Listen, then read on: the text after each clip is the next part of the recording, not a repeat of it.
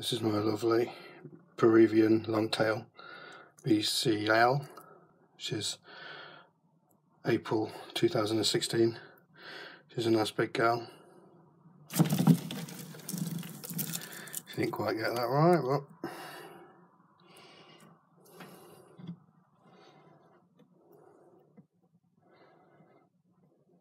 some H&S parentage. It's just not so amazing colour.